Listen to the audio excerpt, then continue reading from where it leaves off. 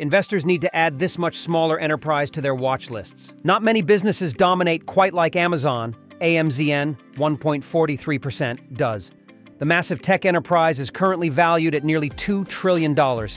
This huge figure comes from a rapidly rising share price, which has soared 1,000% in the past decade and 7,400% in the past 20 years. This Magnificent Seven stock has rewarded its shareholders in remarkable fashion. However, investors might want to consider another e-commerce business that could be flying under the radar right now. It might even be a better buying opportunity than Amazon. Before we begin, this video is not an investment advice and must do your own diligence. However, with my experience investing for years, the content from this video has a solid research foundation.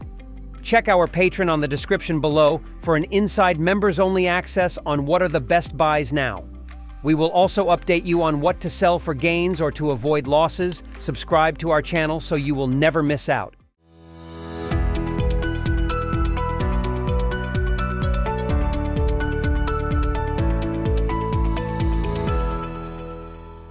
Amazon's dominance can't be overstated. I believe we should first take the time to appreciate Amazon.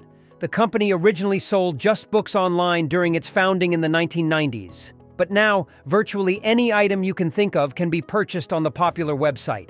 This wide reach has resulted in nearly 40% of all money spent online in the US going through Amazon.com. That's a tremendous statistic. Even more telling, Amazon's online stores raked in $235 billion in net sales in the past 12 months. The company relentlessly focuses on low prices and a wide selection. And if that wasn't enough to provide customers with a great shopping experience, Amazon's massive and developed logistics footprint enables fast and free shipping. It's hard to compete with this. Besides e-commerce, Amazon has a strong position in other categories, namely cloud computing, streaming entertainment, and digital advertising. It has multiple growth engines that can propel it, a beaten-down niche player. While Amazon deservedly gets a lot of the attention, investors need to get familiar with Etsy. Etsy 0.86%. Its shares have been obliterated. They currently trade 80% below their peak price, reached in November 2021. Etsy operates an online marketplace that sells unique, handcrafted, and vintage goods. This specialization separates the business from Amazon's mass market focus. In fact, a survey found that 83% of Etsy buyers found items on the site that they couldn't find anywhere else. Amazon is the elephant in the room in the e-commerce world, but at least Etsy finds a way to stand out. This company possesses an economic moat too. As of March 31st, it had 96.4 million buyers and 9.1 million active sellers on the platform. This two-sided ecosystem creates powerful network effects. Etsy doesn't handle inventory itself, so it also doesn't need to invest in warehouses or delivery trucks. This makes it an asset-light operation that generates consistent profits. In the past five years, the company's operating margin has averaged an impressive 15.9%. As I mentioned earlier, Etsy shares have gotten crushed. This is where the opportunity lies for investors. The stock trades at a dirt-cheap valuation. The current forward price-to-earnings ratio of 12.5 represents a 43% discount to the S&P 500.